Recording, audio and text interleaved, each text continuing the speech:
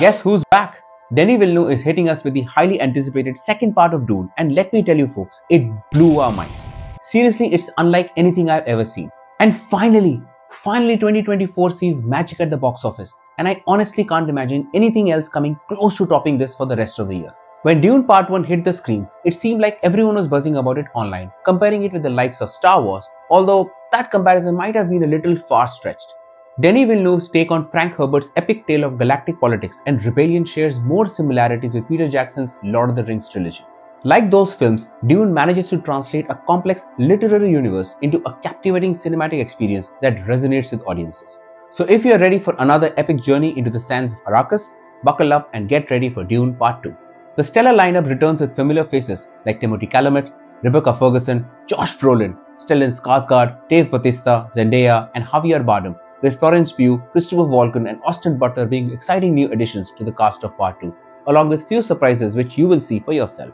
Before we jump into the no spoiler review of the eagerly awaited Part 2, let's first scroll down memory lane with a recap of Dune Part 1.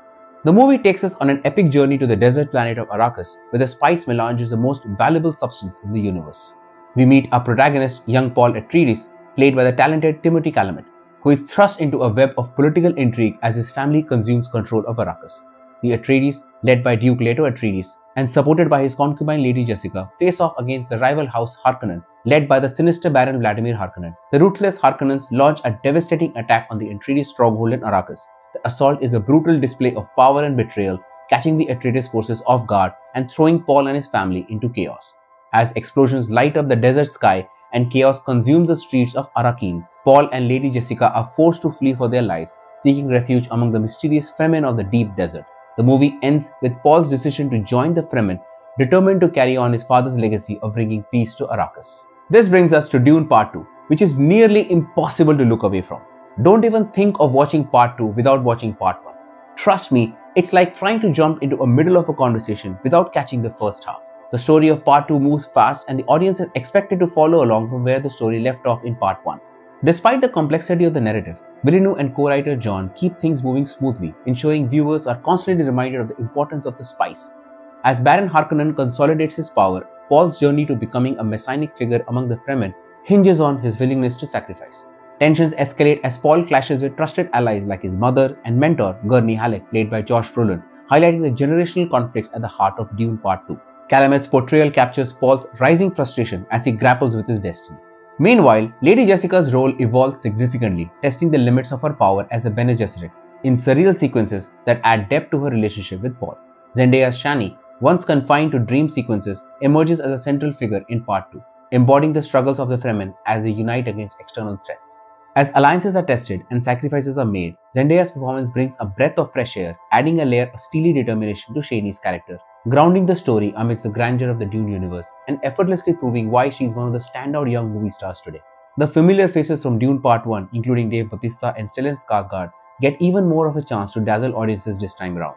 But personally for me, Josh Brolin steals the show as Gurney Halleck. His performance leaves the strongest impression, adding depth to the character that fans won't soon forget. Austin Butler's portrayal of Feyd Harkonnen is wild and frightening and truly elevates the movie. Hans Zimmer's music for Dune is nothing short of a masterpiece. With his signature blend of grandeur and emotion, Zimmer's score elevates every scene, immersing viewers deeper into the world of Arrakis. From haunting melodies that capture the desolation of the desert to powerful crescendos that mirror the epic battles unfolding on screen, Zimmer's compositions are vital elements of the film's storytelling. Dune Part 2 showcases some of the cinematographer Greig Fraser's most stunning work to date. And when you combine that with Hans Zimmer's unexpectedly innovative score, you get a cinematic experience that's truly unparalleled. It's a grand spectacle you won't find anywhere else. Denis Villeneuve's direction in Dune is nothing short of extraordinary. With a deft hand, he brings Frank Herbert's integrated universe to life on the big screen, precisely capturing every nuance and detail. Villeneuve's vision is both immersive and captivating, from the sweeping desert landscapes to the intricacies of interstellar politics. He expertly balances spectacle with substance, ensuring every frame serves the story and characters. Dune Part 2 takes the legend of Paul Atreides to new heights, delivering a mystical and captivating journey through the war-torn landscapes of Arrakis. Denis Villeneuve pulls out all the stops, thrusting viewers to immerse themselves in Dune's intricate mythology. Part 2 unfolds as a mesmerizing spectacle with each twist and turn transforming a vast saga into an accessible and dazzling epic. While the focus on world building occasionally sidelines newer characters, the overall impact of Dune Part 2's immersive storytelling is undeniable. Prepare to be transported to a world where every moment is filled with wonder and danger. Outdoing its predecessor in every which way, Dune Part 2 raises the stakes to astronomical levels. The power struggles are more intense, the world building is more richer, and the visuals are even more breathtaking. It's a level of cinematic grandeur I didn't think was possible. Both Part 1 and Part 2 of Dune are adaptations of the first novel of the Dune novel series.